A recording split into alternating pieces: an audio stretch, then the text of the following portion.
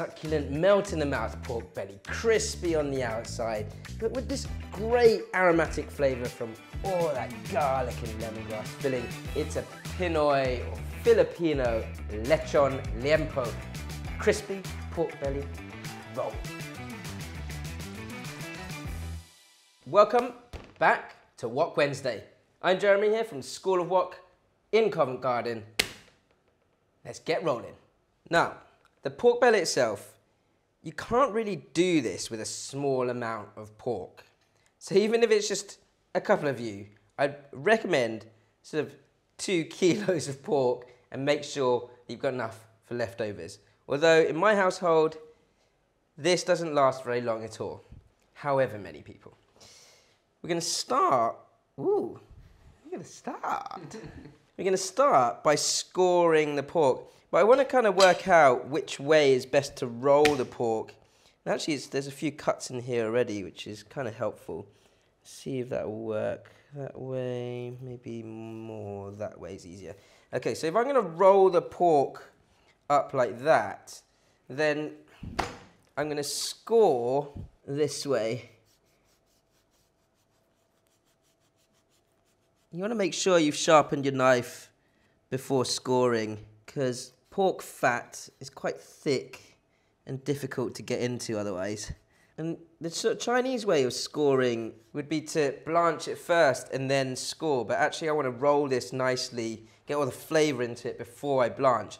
And I am still going to blanch it, which is not necessarily classic sort of Filipino technique, but I find that it makes the skin even crispier.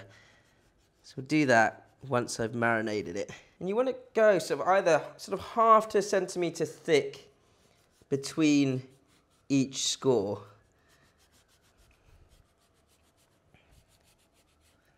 And make sure you get into the fat, but don't go too far and hit the meat. Right, so my belly's been scored. Not my belly, the pork belly. But um, it, the most important thing right now is to get the marinade ready. And the marinade I quite like a good mix of lots of garlic, about a tablespoon of onion powder, a good amount, about a teaspoon and a half of sea salt and black pepper. And I've got some rice vinegar, roughly a tablespoon. That's just to sort of get rid of any sort of, sort of porky, porky smells. A little bit of oil in that marinade as well, just to kind of create a little bit of a paste out of it and for it to sit into the fats of the pork. With the pork meat side, I just want to score this as well. It doesn't have to be sort of too many scores, but the idea is to allow the marinade to really sit into the meat itself and sort of penetrate the meat and get all that flavor into there. And this scoring will also just help when I come to roll the meat too. So I've got plenty of sort of crevices ready for my marinade.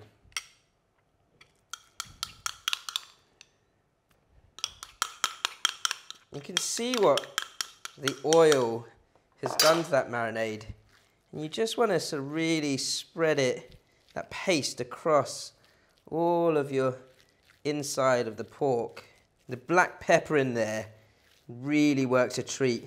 It gives this nice base sort of warming spice to the whole dish. So once you've marinated all the flesh, I've got a whole load of stuff that I've cut up and bashed. I've got some bashed lemongrass. That's whole lemongrass there, which you can pull out once you've roasted it, once you've cooked the actual dish. And then I've got all this sort of roughly chopped spring onion and red onion. And we're just going to get that into the middle of that roll. Quite a lot of flavour in this before I've even started.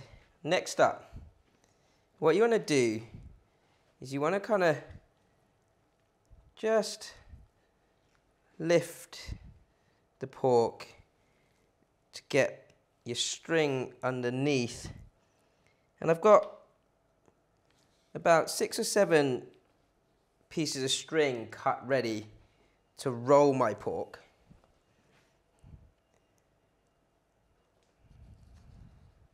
So I'm just going to start to tie this up and roll this over. Don't worry if you lose a few bits of onion or anything like that. So it's a little bit faffy tying something like this up, but don't worry if you've lost a little bit of the filling because there's so much in there already. Most importantly, you want to tie it relatively tight to make sure that it keeps its roll. There's actually so many different types of crispy pork or suckling pig in the Philippines. And this one is a nice one to do at home because roasting a whole suckling pig, I'm not to lie, is difficult. Whoa, look at that beauty. You could just salt this now and then roast it straight off. But in true Chinese style, I'm to blanch it first.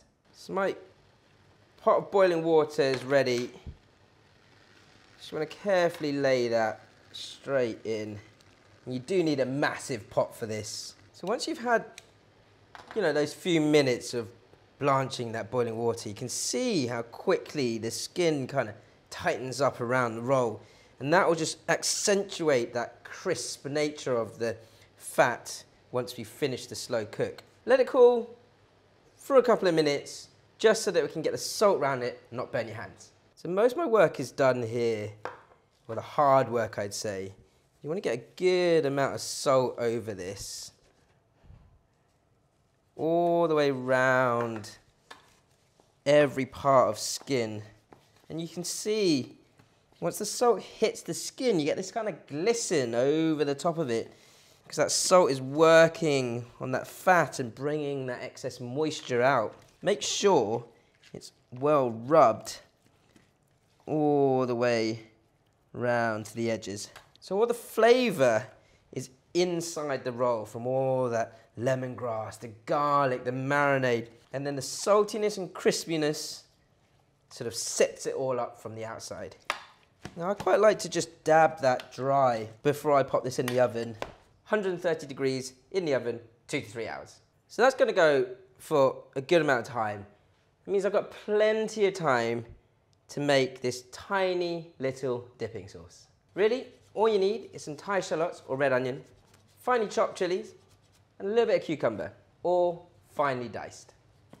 This is kind of like a, a quick pickle um, more than a sauce. I've got some Japanese rice vinegar here. And then about a tablespoon of palm sugar. I just want to melt that into the vinegar. A little bit of salt. And then over the next couple of hours, as that salt and sugar and vinegar kind of marinades the cucumber, you'll still have a crunch, but the cucumber will just turn a, a darker sort of greenish brown in colour. And it just works a treat with the crispiness of the pork and the succulence of the fatty meat.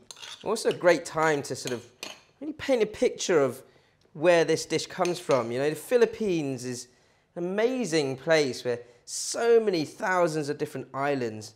Now, it's actually kind of reminds me of our trip out there. We went to Palawan, and there's not much sort of public transport around, but the buses are kind of like mini bread vans, and you kind of get sort of wedged into a tiny bread van, which for me is fine, but for taller people, a little difficult.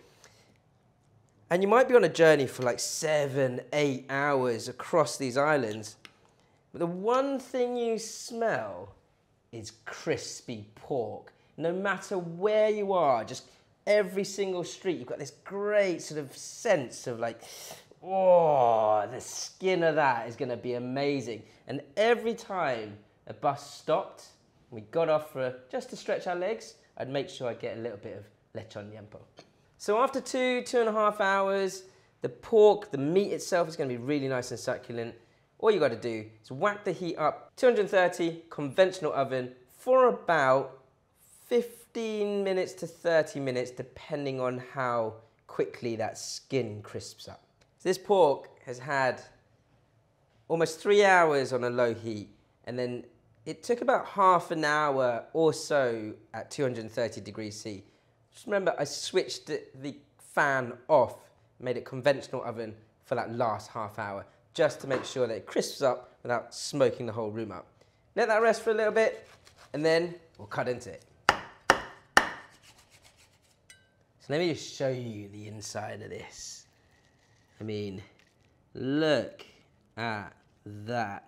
For succulence, with the perfect crisp on the outside. This is all for me. Don't know about you guys. It's taken me back to the streets of Philippines. And this dish is so crispy on the outside, you will not believe it. And the inside, with those aromats, the lemongrass and the garlic, just lifts the flavor of the meat even more. Oh, it's so good. You like this recipe? Don't forget to like, comment, subscribe, ding, hit that notification bell, tell all your friends, cook the food, show us what you've made.